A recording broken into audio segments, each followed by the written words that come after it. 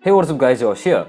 So in this video, I'm going to show you the first few things that you must be doing after purchasing a brand new laptop. Well, we have actually uh, done a couple of videos like this in the past, but in this video, I just want to summarize everything and make it in a single video. So in this video, I'm going to go from the scratch, right from the unboxing and the entire list of things that you got to do after that event. So make sure you watch this video entirely because everything will be covered in this video and I'll try my best. The first thing is to record a video when you're unboxing the laptop. Why do you need to record a video when you're unboxing the laptop? That's the question, right? Well, it's just a normal thing. Let's say that you get a broken, damaged laptop piece. You find that out right after the unboxing. When you record a video, you have the proof that the laptop was damaged inside the box itself. So this video can be useful later in case of damages. There's only a few steps. Record it right from the unboxing, right from how you got the laptop. Show all the things that are inside the box like the charger, the receipt, show all the essential numbers inside the receipt and try to make the entire video in a single clip. Don't stop the recording in between and then file away the important documents like the invoice that comes with the laptop. And if you ask essentially it's not necessary to keep the original box of the laptop. But in case of return you might need the laptop's box with you. For claiming the warranty later the purchase receipt is enough. You don't need the box that comes with the laptop. So the unboxing is done right? Now the next thing is the setup process. You open up the laptop but before you turn on the laptop make sure that the power cord is plugged in. This is not the so-called force charging. People think that it's healthy for a newly bought electronic, but that's completely wrong. The only reason we need to charge a newly bought laptop or mobile is because it might have less charge from the box itself. So during the setup process, it can go out of charge and shut itself down, which might later end up in some corruption. And it's not necessary to charge your laptop ridiculously for 12 hours straight. First things first, just make sure that the power cord is plugged in and then push the power button. If it is the first time that you're setting up a PC and you're really unaware about a lot of terms that are involved here, then you can ask a peer near your home or you can go onto YouTube, watch a couple of tutorials and do it all by yourself. But apparently it's not that complicated. The Windows Assistant will guide you through the process, so it's not that tough at all. And it is important to remember the essential details that you give there, like the password, the username, the email ID, or the questions you answer for resetting a password. Things like these must be remembered. The entire setup process will take around 15 minutes and then it will get you into the Windows desktop then the next thing that you gotta do is to take a complete glance over your laptop just review everything review your laptop physically for uh, physical damages review the charger check the power cord check the ports that are given around the laptop plug different devices and check if they are working properly check the keyboard. You can use a keyboard tester online or you can use the windows notepad itself also the speakers and there's a lot of things that are involved in the physical testing process. Well i've actually done a video before about this so i'll give a card uh, here to that video so you can check that out and i hope that video will get a lot of things out of the way. And this is the windows look right after the setup process. First of all we have some finicky things to be done here. First of all change the wallpaper if you prefer to. Well i do so i'm changing the wallpaper now and now right click on your desktop click here then go to this location and then enable the this PC icon. This will get you the PC icon here through which you can open the file explorer. And now we are into the file explorer and here you can see one disk located here since we have a single HDD in this laptop. If you have an SSD that comes with your laptop then you'll have two disks located here one for the SSD and one for the HDD like the one in my laptop. And now to split this into different disks you can create partitions here. And to create partition you can follow this method. It's not that hard at all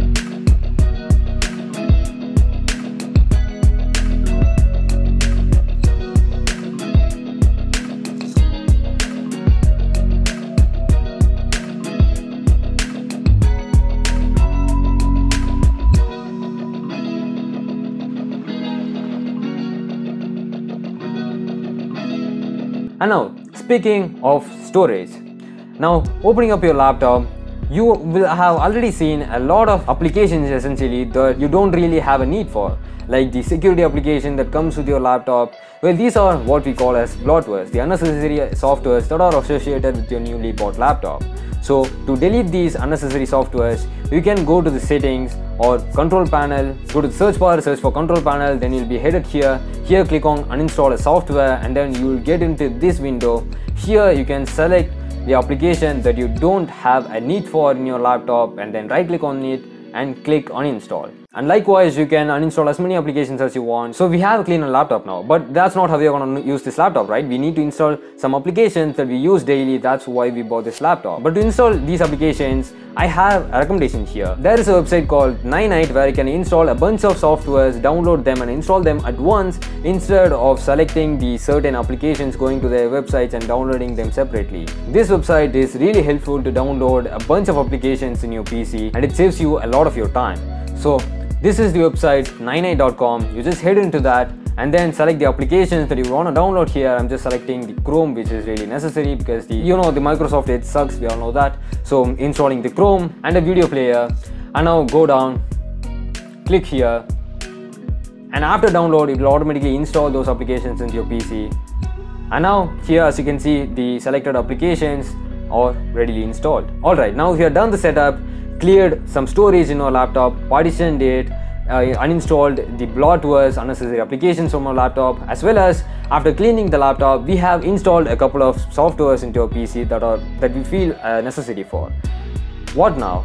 So we have done all these things but now we have the responsibility of protecting our pc right? So moving on to the security section first of all i recommend you all to create a restore point. Creating a restore point is not that hard. Go to the search bar and search for restore point and then click on here create and then it will ask you a name to create that restore point. You just put a name there and then click create. Well a lot of you might be unaware of the term uh, restore point. Well uh, what it does is that it's just a snapshot of the current settings of the drivers installed in your pc right at that moment you create that restore point so when your PC corrupts or something happens to your laptop, then to restore your laptop back into its state, you can use one of these restore points that you created recently and then it is just like traveling back in time. You just click a restore point and then use that restore point. You just take your laptop back to the state it was when we created a restore point in it. But this restore point only concerns with the drivers and the settings of your laptop. It does not concern with the files that are associated to your storage, the install programs that are installed in your laptop.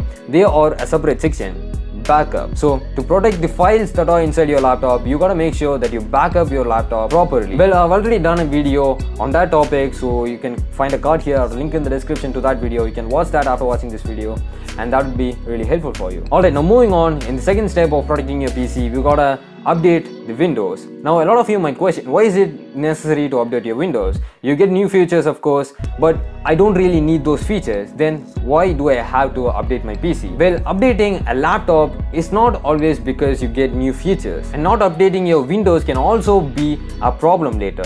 Let me explain you why. If you don't update your PC for a long time, there might be some security loopholes in your PC through which new viruses can attack your PC and take control of it. So that's a really important reason why you should update your laptop. And then you have the drivers, you gotta update them as well. You can go to the individual websites like NVIDIA website and the AMD or Intel uh, processor website and download the respective drivers. And now we have a lot of things out of the way. The setup process is done, the testing thing is done, setting up the laptop done now we have the testing process. So first of all, let's check the battery. And for this, just plug it to your laptop and then wait until it reaches 100%. Plug your laptop out, turn on timer or know the time you plug the laptop out and then use it until it reaches as low as 30%. And now verify if that usage time is close to the battery lifetime that is promised by the company. Small differences are negligible, but if you but if you see great differences like the promised battery life is 8 hours but you only get around 4 hours, then it must be a symptom that there is something wrong with your laptop and you better apply for a replacement. So now we have checked the battery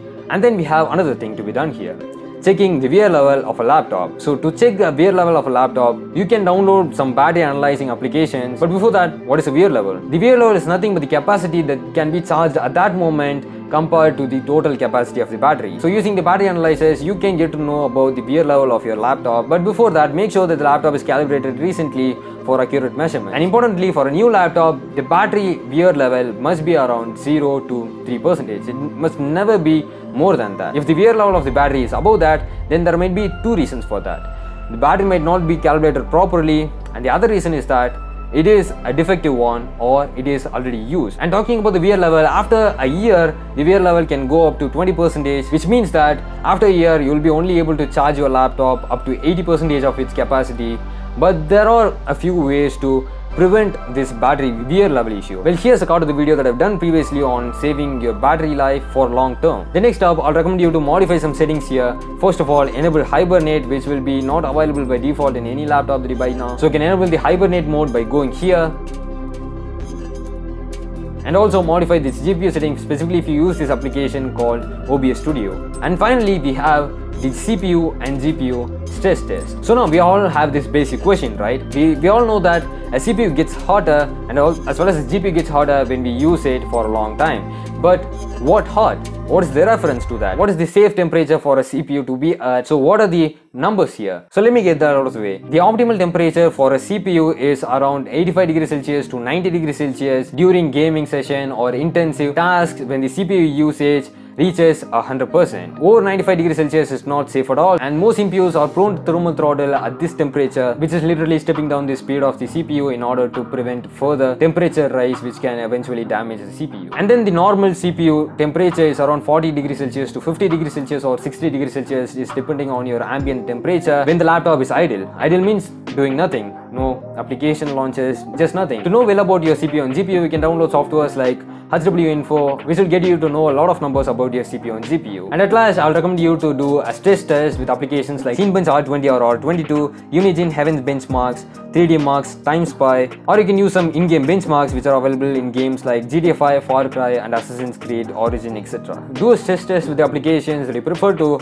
and then record all the scores, so that in a year you may retake these tests and then compare these scores with the previous scores, and then it will be an indicator whether you need to reapply the thermal paste in case you get really low benchmark scores compared to the previous year. And now we are almost done with the first things that we got to do after purchasing a brand new laptop. But now I have a bonus point for Intel users undervolting. Well, a lot of you might be aware of this term already, but if you don't know, then here's a card of the video that I've already done previously in my channel, I think here. Anyway, it's about undervolting your Intel CPU in the hope of getting some extra juice from your laptop. By undervolting, you get a lot of benefits like good battery life, increased performance, improved thermals and etc. So anyways, I think I've done my best in collecting you the information about the first things that you gotta do after purchasing a new laptop and I hope that this video will be helpful in the journey of your new laptop and I wish your new laptop will be perfectly fine for the next few years. Anyways, thanks for watching and I'll catch you in another video.